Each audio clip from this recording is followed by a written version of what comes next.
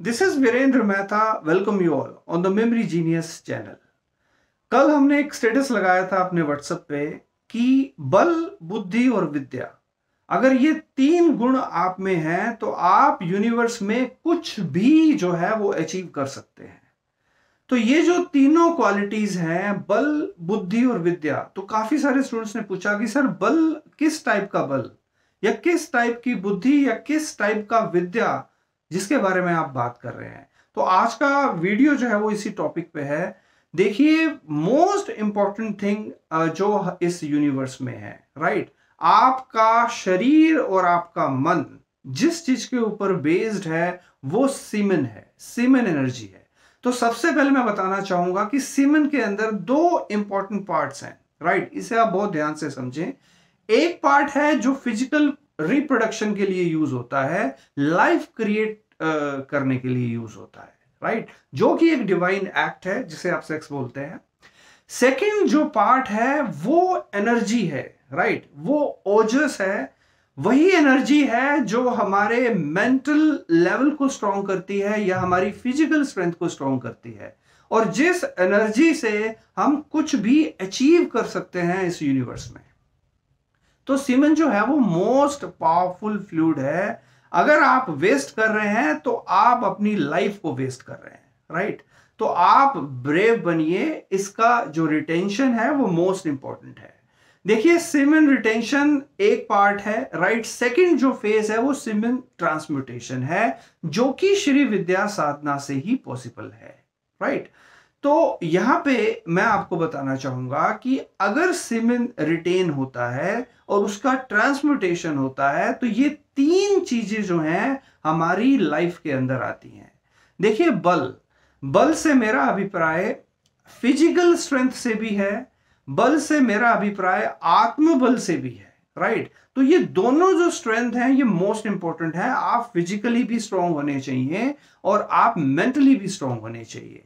ये तो हुआ बल। तो ये दोनों प्रकार के जो बल हैं, बहुत आसानी से आपको इस सिमिन एनर्जी से, इस ओजस एनर्जी से आपको मिलते हैं।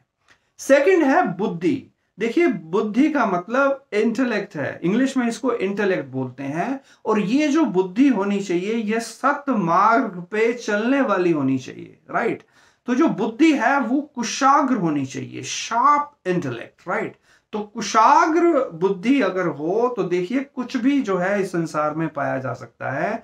और ये सिमिन एनर्जी से ही जो है हमारी बुद्धि कुशाग्र होती है। देखिए, हमारा जो मस्तिष्क है, जो ब्रेन है, उसके अंदर जो टिश्यूज हैं सेल्स हैं, उनका अगर फ़िज़िकल कॉम्पोजिशन आप देखिए, जिस एलिमेंट से वो मिलके बनी है सेम एलिमेंट से मिलके सिमिन बना है। तो एक तरह से आप ये कह लीजिए कि सीमेंट जो है वो ब्रेन का फ़ूड है राइट मीन्स सीमेंट का मतलब इंटेलिजेंस है राइट तो ये बल की मैं बात कर रहा था, बुद्धि की बात कर रहा था। अब मैं आ रहा हूँ विद्या पे। देखिए, विद्या का मतलब मेरा आर्ट से है राइट आई थिंक 16 कलाएँ इस यूनिवर्स में बताई गई है कि 16 आर्ट्स जो है, अगर वो कोई मनुष्य सीख ले तो फिर वो भगवान कृष्ण के बराबर जो है वो हो जाता है। क्योंकि भगवान श्री कृष्ण में सोलह कलाएँ वो संपूर्ण थे राइट और ब्रह्मचर्य का पालन अगर वो करता है, अगर वो श्री विद्या साधक है तो सोलह की सोलह कलाएँ एक ही समय में सीखी जा सकती हैं। मीन्स मेरे कहने का मतलब है कि वो इंटेलिजेंस जिसकी आपको नीड है, इन सभी आर्ट्स को सीखने के लिए वो सेमेन एनर्जी आपको प्रोवाइड कर सकता है। तो आप ये जो सीमेन है इसका वेस्टेज जो है आप नहीं करें।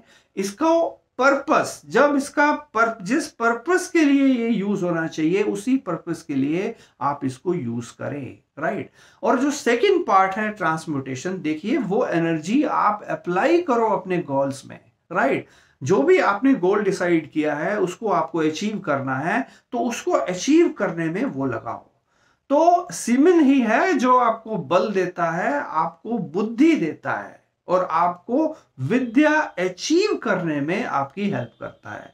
तो श्री हनुमान चालीसा में बहुत सुंदर रूप से यह बताया है कि बल, बुद्धि, विद्या दही हरलो कलेश बेकार राइट तो अगर ये तीन गुण अगर आपकी लाइफ में आ जाए तो जितने भी टाइप के कलेश है आपकी लाइफ में, जितने भी टाइप के कॉन्फ्लिक्ट्स हैं राइट वो आपकी लाइफ से दूर हो जाएँगे। राइट?